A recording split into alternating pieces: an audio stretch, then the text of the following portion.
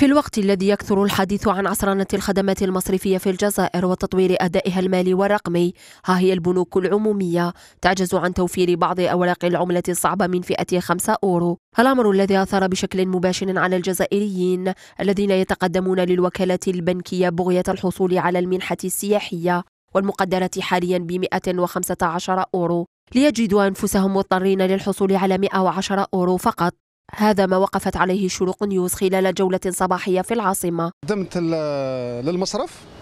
آه، الموظف تاع المصرف آه، أعطى لي 110 أورو وبسبب أنهم ما عندهمش 5 أورو آه، النقد تاع 5 أورو أعطاهم لي بالدينار.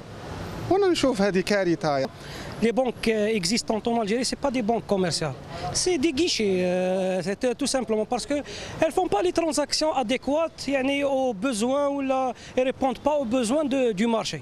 خبراء الاقتصاد قرأوا في غياب ورقة خمسة أورو بالبنوك نقصا في السيولة المالية بالعملة الصعبة. في إشكالية أن كثير من فئات النقدية الصغيرة غير موجودة وبالتالي هذا ما يشكل يعني على الأقل مشاكل للناس تحاول عملية الصرف في إطار قانوني. لكن الغريب أن عندما تذهب إلى مكان سكوار وغيره تلقى كل شيء موجود. وفي محاولة منا لمعرفة أسباب عجز البنوك عن توفير ورقة خمسة أورو لزبائنها. اقتربنا من مسؤول أول هيئة نقدية في البلاد وكان رده كالآتي Peut-être c'est une agence, une agence, mais ce n'est pas un problème général. ممكن une agence parce qu'elle n'a pas fait de manière, de manière euh, affinée ses prévisions.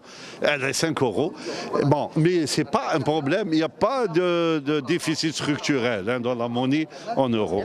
في انتظار ترتيب بيت بنك الجزائر يبقى الجزائريون في دوامة نظام مصرفي لا يرقى إلى تطلعاتهم. فهل سيتمكن محمد لوكال من تحقيق ما عجز عن بلوغه محمد القصاصي؟